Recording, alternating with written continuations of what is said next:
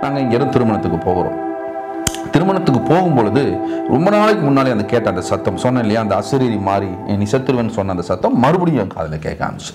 அந்த முதல் முறை கேட்கும் பொழுது இடி முழக்கத்தை போல ஓப்பனாகவே கேட்டுச்சு. வெளியே ஒரு ஸ்பீக்கர்லேருந்து வர சத்தத்தை போல தெளிவாக கேட்டுச்சு.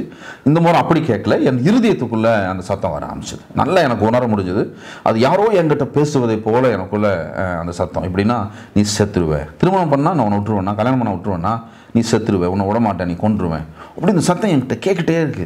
கேட்க கேட்க எனக்குள்ள பைத்தியம் முடிக்காது போல இருக்கு. காரில் ஏறி கொஞ்சம் தூரம் தான் வந்திருப்போம். என்கிட்ட அந்த சத்தம் மறுபடியும் கேட்க ஆரம்பிக்குது. ம, உன்னை கொன்றுவேன் நீ இறந்துருவ. நீ இறந்துருவேங்கிற சத்தம் கேட்டுட்டே இருக்கு. நான் என் மன யார்ட்டையும் சொல்லலை இதை குறித்து நானும் என்னோட ஊர்ல இருந்து வரும்போது தானே? ஆமாம் திருச்செந்தூர்லேருந்து வரும்போது கோயம்புத்தூருக்கு வரும்பொழுது. இந்த சத்தம் கேட்டுகிட்டே இருக்குது அப்போ ஒட்டன்சத்திரத்துக்கு முன்னாடி நாங்கள் அந்த ஒரு ஹோட்டலில் சாப்பிட்டுட்டு திரும்ப வரும்பொழுது அந்த சத்தம் கேட்டதுனால எனக்கு நிம்மதி போயிடுச்சு. சரி படுப்போம் அப்படின்னு சொல்லி கண்களை மூடி ஒரு ரெண்டு மூணு நிமிஷம் கூட இருக்காது. எங்கள் கார் ஒரு பெரிய விபத்துக்குள்ளானது. ஒரு மெட்டடோ ஒரு வேன் அந்த டூரிஸ்ட் வேன் இருக்கு இல்லையா அந்த வேன் கூட ஒரு பெரிய விபத்து. விபத்து அப்படின்னு சொன்னால் கார் டோட்டல் லாஸ்ன்னு சொல்லுவாங்க. டோட்டல் லாஸ் ஆச்சு. எதுக்கும் பயன்படுத்த முடியாத அளவுக்கு ஆச்சு. அப்பளத்தை போல் நொறுங்கியது. அப்படின்னா நீங்கள் வந்து அந்த விபத்து எவ்வளோ மோசமான விபத்துன்னு புரிஞ்சுக்கலாம்.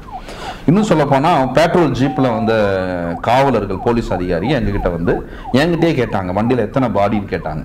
அப்படின்னா நீங்கள் அந்த அந்த ஆக்சிடென்ட்டுடைய அந்த எவ்வளோ தீவிரமாக இருந்ததுன்னு நீங்கள் புரிஞ்சுக்கலாம். ஆனால் ஒரு ஆச்சரியம் என்னென்னா அவ்வளோ பெரிய விபத்து நடந்துச்சு. எனக்கோ என் மனைவிக்கோ என்னுடைய கார் டிரைவருக்கோ எந்த ஒரு சேதனமும் ஆகலை. இன்னும் சொல்ல போனால் அந்த விபத்து நடக்கும் பொழுது எனக்கு நல்லா ஞாபகம் இருக்குது எங்கள் டிரைவர் வந்துட்டு பயந்து கையை தூக்கிட்டார். ஐயோ நான் என்ன பண்ணுவேன் அப்படின்னு ஐயோன்னு கத்திட்டு தூக்கிட்டாரு. நான் பின்னாடி இருந்து எந்திரிச்சு அந்த ஸ்டீரிங்கை பிடிக்கிறேன். பிடிச்சு நான் தான் கண்ட்ரோல் பண்ணி என்னால் முடிஞ்ச அளவுக்கு நான் கண்ட்ரோல் பண்ணேன். ஆனால் அதை தாண்டி வண்டி ஆக்சிடென்ட் ஆச்சு. ஆனால் யாருக்கும் ஒன்றுமே ஆகலை. ஒரு சின்ன ஒரு கீரல் கூட கீரல் இல்லை அது. எங்கள் மேலே படம் கூட எந்த ஒரு பாடி கூட எங்கள் மேலே படல. நாங்கள் கார்லேருந்து இறங்கி அங்கே வேறொரு வண்டி பிடிச்சி அங்கேருந்து நாங்கள் கோயம்புத்தூருக்கு வந்தோம். கோயம்புத்தூருக்கு வந்து ரிசப்ஷனுக்காக சாயங்காலத்துக்கு ஆயத்தமாயிட்டு இருக்கிறோம் சாயங்காலம் திருமணத்துக்கு என்னோட ரிசப்ஷன் ஒரு பெரிய ரிசப்ஷன் கிட்டத்தட்ட ஏழாயிரத்துக்கும் அதிகமான ஒரு க்ரௌடு பெரிய ஒரு கூட்டம் என்னோட. ஏன்னா இங்கே எங்கள் அப்பாவுக்கு தெரிந்தவர்கள் என்ன ஐம்பது ஐம்பது ஐம்பது வருஷத்துக்கு மேலே ஆச்சு இல்லையா? இங்கே நாங்கள் தொழில் செய்து. அதனால் பெரிய கூட்டம். ஏழாயிரத்துக்கும் அதிகமான ஒரு கூட்டம். சாயங்காலம் கூட்டத்தில் நாங்கள் நின்றுருக்குறோம் அப்போ பார்த்தீங்கன்னா என்னுடைய இருதயத்தில் சமாதானம் இல்லை. ஏதோ ஒரு யாரோ என்கிட்ட பேசுகிறாங்க என்னமோ நடக்குது எனக்குள்ளே. கொஞ்சம் சமாதானமும் இல்லை பைத்தியம் முடிச்ச மாதிரி இருக்குது என்னால் அந்த ரிசப்ஷனில் இருக்கவே முடியல. எப்படியோ அந்த ரிசப்ஷனை முடித்தேன் முடிச்சுட்டு அடுத்த நாள் நினைக்கிறேன். அடுத்த நாளோ இல்லை ஒரு நாள் கழிச்சான்னு தெரியல. எனக்கு நான் பைத்தியம் பிடிச்சிருச்சுன்னு நினச்சேன். ஏன்னா நான் சிறு வயதிலேயே ஒரு மனநலம் பாதிக்கப்பட்ட பையனாக இருந்தனால. ஒருவேளை பைத்தியம் பிடிச்சிருச்சா? இல்லைன்னா எனக்கு என்னோட பழகின பெண்கள் யாராவது ஏதாவது செய்வனை வச்சுட்டாங்களா? அப்படிலாம் எனக்கு தோணுது. சரி அப்படின்னு சொல்லிட்டு நான் என்ன பண்ணுறேன் பக்கத்தில் இருக்கக்கூடிய ஒரு தனியார் ஹாஸ்பிட்டலில் இங்கே ஹாஸ்பிட்டலுக்கு போய் நான் ஒரு சிகிச்சை எடுத்துக்கலான்னு போகிறேன் அங்கே இருக்கிற ஒரு மனதத்துவ நம்ம நிபுணர் ஒரு டாக்டரை சந்தித்து என்னோடய நிலைமையை சொல்லி எல்லாத்தையும் சொல்லிட்டேன் அவர்கிட்ட. கஞ்சா அடிக்கிறது எல்லாத்தையும் சொல்லிட்டேன் ஏன்னா பயம். எல்லாம் சொல்கிறேன் அவர் வந்து பயப்படாதீங்க இப்போ தானே முடிச்சு கொஞ்ச நாள் கழிச்சு வாங்கன்னு சில மாத்திரைகள் மாத்திரையை கையில் கொடுத்து அனுப்புனார். நான் வீட்டுக்கு வந்து ஆனால் அந்த மாத்திரையை நான் போடலைன்னு நினைக்கிறேன். அந்த மாத்திரையை போடலை. ஒரு நாலஞ்சு நாள் இருக்கும். எனக்குள்ளே ரொம்ப பலவீனமாக உணர ஆரம்பித்தேன் பார்த்தா எனக்கு ஜாண்டிஸ் தீவிரமான ஜாண்டிஸ் அது எடுத்த உடனே ரொம்ப தீவிரமாக போக ஆரம்பிச்சது. ஏன்னா சில காரணங்கள். ஒன்று நான் ரொம்ப டயர்டாக இருந்தேன். திருமணம் திருமணம் அது இதுன்ட்டு. ரெண்டாவது குடிப்பழக்கம் எனக்கு இருந்தனால அது ரொம்ப தீவிரமாக ஆரம்பிச்சது. உடனே அது ரொம்ப தீவிரமான இதில் ஒரு தனியார் மருத்துவமனையில் நான் அனுமதிக்கப்பட்டேன். ஆனால் அங்கே சிகிச்சையில் அங்கே ஒரு என்னென்னமோ டெஸ்ட் பண்ணாங்க. எவ்வளவோ சிகிச்சை கொடுத்தாங்க. இதாகலை. சில நேரங்களில் வாந்தி இருக்கும் பொழுது ரத்தமாய் கலந்து வர ஆரம்பிச்சோன்னே எல்லாரும் பயந்துட்டோம். அதனால் தனியார் மருத்துவமனை தான் மாத்திரை தான் ஒன்றும் சிகிச்சை ஆகலை. அப்போ எனக்கு தெரிந்த நண்பர் ஒரு சொன்னார் பக்கத்தில் கேரளாவில் ஒரு ஆயுர்வேதிக் ஒரு ஆயுர்வேதிக்னு நினைக்கிறேன் நாட்டு மருந்து. அவங்க வந்து ஒரு மருந்து தராங்க ஒரு லேகியம் மாதிரி தருவாங்க. காலையில் ஐந்து மணிக்கு அந்த மருந்தை சாப்பிடணும். அடுத்த நாள் காலை ஐந்து மணி வரைக்கும் எதுவுமே சாப்பிடக்கூடாது வெறும் வயிற்று தண்ணி கூட அடுத்த நாள் என்ன ஆயிரும்னா அது சுகம் அப்படின்ட்டு அவங்க சொன்னாங்க. நாட்டு மருந்து ஆனால் கொஞ்சம் கஷ்டம். ஆனால் அது நல்லா சரியாகும் அப்படின்ட்டு சொன்னாங்க. அந்த அந்த லேகியம் ஒரு உருண்டையாக இருக்கும். பச்சிலையை அரைச்சி தருவாங்க. கொஞ்சம் பெரிய உருண்டை தான். காலை ஐந்து மணிக்கு சாப்பிடணும். அடுத்த நாள் காலை ஐந்து மணி வரைக்கும் எதுவும் சாப்பிடக்கூடாது. அப்போ அங்கே போய் நான் சாப்பிட்றேன். காலை ஐந்து மணிக்கு அதை போய் நான் சாப்பிட்றேன். அந்த டாக்டர்கிட்ட நான் கேட்ட ஒரே கேள்வி என்னென்னா நான் எப்போ இருந்து குடிக்க ஆரம்பிக்கலாம்? நீங்கள் தான் நாளைக்கு சரியாகும் இருக்கீங்களே. நான் எப்போ இருந்து குடிக்க ஆரம்பிக்கலாம் அப்படின்னு. நாளைக்கு ஆரம்பிச்சிடலாமா? காலை இல்லை மற்ற என்ன குடிக்க ஆரம்பிச்சிடலாமான்னு கேட்டேன். அவர் சொன்னார் இல்லை இல்லை ஒரு ரெண்டு நாள் டைம் கொடுங்க அப்படின்னாரு. நான் அதே போல் சீக்கிரத்திலேயே நான் மறுபடியும் குடிக்க ஆரம்பிச்சிட்டேன். இப்படி என் வாழ்க்கை வந்துட்டு குடிப்பதும் கஞ்சா அடிப்பதும் இப்படியாக என் வாழ்க்கை போயிட்டு இருந்தது என் மனைவியை வந்துட்டு நல்லா தான் வச்சுருப்பேன். நல்லா அன்பாக தான் நேசித்து தான் வச்சுருப்பேன். ஆனால் சில சமயங்களிலே ரொம்ப மூர்க்க வரி கொண்டுருவேன்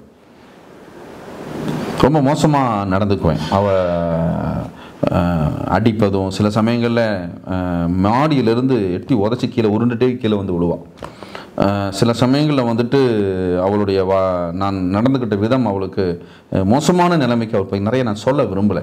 ஏன்னா அது உண்மையாகவே அவள் சில காரியங்களை அவள் மறைத்திருக்கிறாள். யாருக்கும் தெரியக்கூடாது. என் கணவர் நல்லவராகவே இருக்கணுங்கிறது அவளுடைய எண்ணம். நான் சொல்லும்போது கூட இதான் சொல்லி கூப்பிட்டு வந்தா. நீங்கள் எல்லாத்தையும் என்ன பண்ணக்கூடாது? நீங்கள் சொல்லக்கூடாது. ஆனால் நான் இது அதனால் அவளுக்கு நான் அவள் சொல்வதுக்கு எனக்கு இது பண்ணுறேன் ரொம்ப மோசமாக நான் நடத்தியிருக்கிறேன். ஒருத்தன் எப்படி இருப்பான்னு பாருங்களேன். குடிச்சிட்டு கஞ்சா அடிச்சிட்டு பெண் பெண்களோடு ஃபோன் பண்ணி பேசிகிட்டு இருக்கிற ஒருவன் எப்படி இருப்பான்? அவ்வளோ ரொம்ப மோசமான ஒரு நடத்தை தான் மோசமாக அவளை நடத்தியிருக்கிறேன். ஆனால் என் மனைவி ஒரு நாள் கூட வந்துட்டு நீங்கள் குடிக்காதீங்கன்ட்டோ இப்படி இப்படி இப்படி இருக்காதீங்கன்ட்டோ ஒரு நாள் கூட சொன்னது கிடையாது.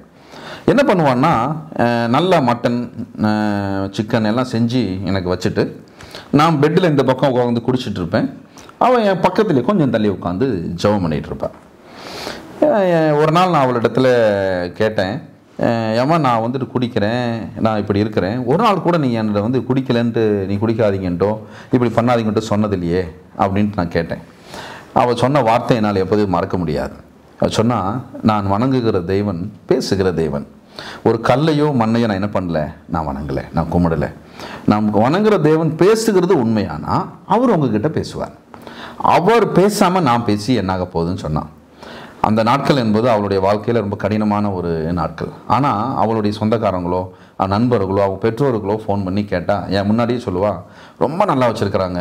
ரொம்ப அன்பாக வச்சுருக்கிறாங்க. நல்லா இருக்கிறேன் என்று சொல்லுவாள் ஒரு அந்த நாட்களை நான் எப்படிப்பட்ட சூழ்நிலை இருந்தேன் என்பதை அவள் சொன்னால் கொஞ்சம் அஹ், நல்லா இருக்கும் என்ன சொல்லணும் ஏதோ அன்னை- அன்னைக்கு அப்போ எப்படி இருந்துங்கிறத முடிஞ்சா சொல்லு சொல்லிப்பாரு இல்லைன்னு நான் சொல்லிக்கிறேன்.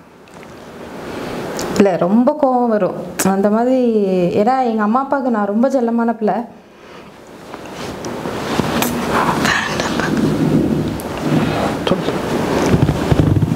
எங்கள் அப்பா என்னை ரொம்ப செல்லமாக வச்சுருப்பாங்க. எங்கள் அப்பா என்னை திட்டினதே கிடையாது. அவ்வளோ செல்லமாக வச்சுருப்பாங்க.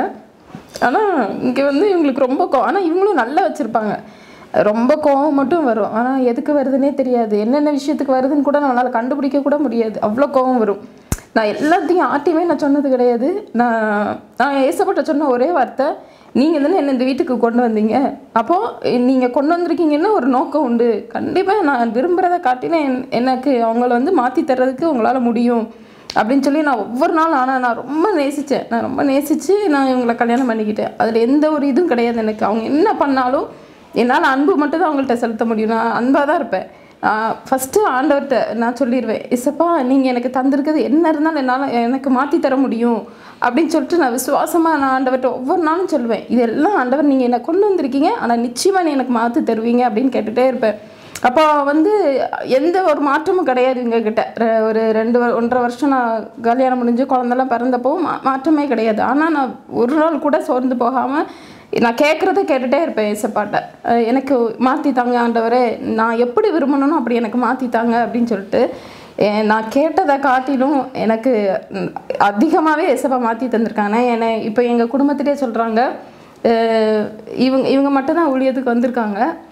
அதனால் எல்லாத்த காட்டிலும் யாருக்கு கிடைக்காதது உனக்கு கிடைச்சிருக்கு அப்படின்னு சொல்லிட்டு இப்போ எங்கள் ஃபேமிலியில் எல்லாரும் எனக்கு சொல்லுவாங்க. ரொம்ப என்னோட மனைவி ரொம்ப என்னை நேசிப்பான். இப்போ கூட அவள் சொல்லி கூட்டு வந்தது நீங்கள் எனக்கு பண்ண எந்த காரியத்தையும் என்ன பண்ணக்கூடாது சொல்லக்கூடாது. அதனால் உங்களை யாராவது தப்பாக எடுப்பாங்க அப்படின்னு சொல்லி தான் கூட்டு வந்தா.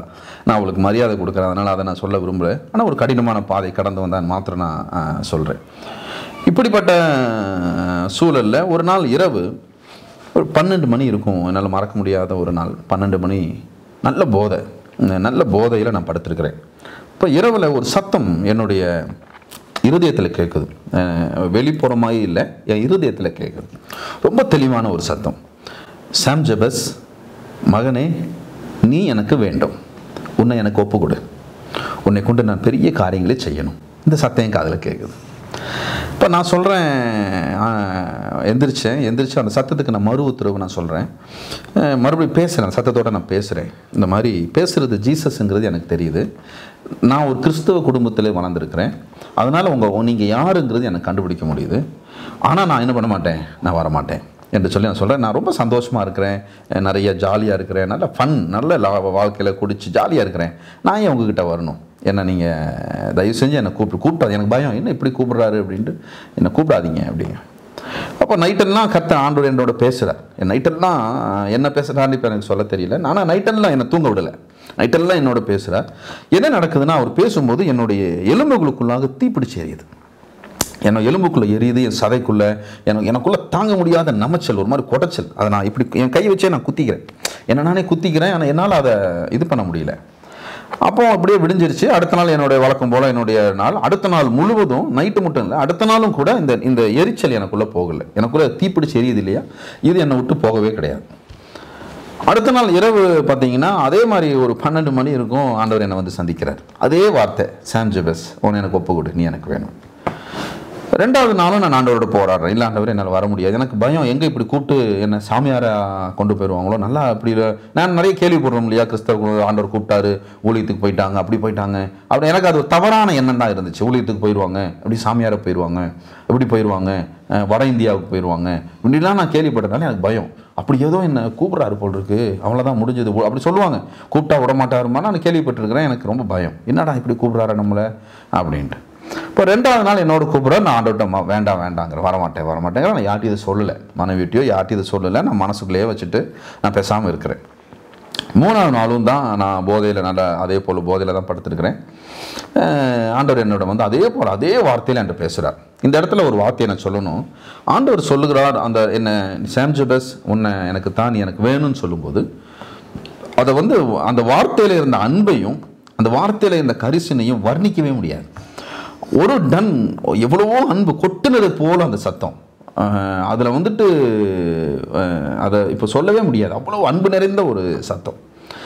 அந்த மூணாவது நாள் என்ன நடந்துச்சுன்னா நான் ஆண்டவர்கிட்ட பேசுகிறேன் ஆண்டவரே இந்த மாதிரி நீங்கள் வந்துட்டு என்னை கூப்பிடுறீங்க. ஆனால் சிறு வயசில் ஒரு அனாதையை போல அன்புக்கு ஏங்கி ஏங்கினவனாக புறக்கணிக்கப்பட்டவனாக அறிவில்லாதவனாக பய பயப்படுகிறவனா செத்தா நல்லா இருக்குமே. எத்தனை முறையோ தற்கொலைக்கு முயன்றவனாக நான் இருந்தேன்ல. அப்போல்லாம் நீங்கள் எங்கே போனீங்க? அப்போல்லாம் விட்டுட்டு இன்றைக்கி ஏன் நீங்கள் என்னை தேடி வந்திருக்கீங்க? அப்படின்னு சொல்லும்போது ஆண்டவர் சொன்னார் மகனே உன்னை மரண தருவாயில் எத்தனையோ முறை ஏன்னா எத்தனையோ ஆக்சிடென்ட் எனக்கு உடம்பு ஃபுல்லாக ஸ்டிச்சஸ் போட்டிருக்கு. இங்கெல்லாம் பார்த்தீங்கன்னா பிளாஸ்டிக் சர்ஜரி இங்கே பிளாஸ்டிக் சர்ஜரி முட்டில் இது அப்படி உடம்பு ஃபுல்லாக நிறைய காயங்கள் நிறைய சர்ஜரிஸ் எனக்கு. ஆண்டவர் சொன்னார் மகனே எத்தனையோ முறை நீ நீ வந்து மரணத்துக்கு எதுவாக இருக்கும் பொழுது மரண பிசாசு உன்னை எடுக்கும் பொழுது நான் உன்னை காப்பாற்றினேன் உன் தாயின் வயிற்றிலேயே உன்னை நான் வேறு பிரித்து உன்னை நான் என்ன எனக்கென்று சின்ன நான் என்ன செய்தேன்? என் கையில் எடுத்தேன். அப்பத்திலிருந்து உன்னை நான் உன்னோடே கூட இருக்கிறேன்னு சொன்னார்.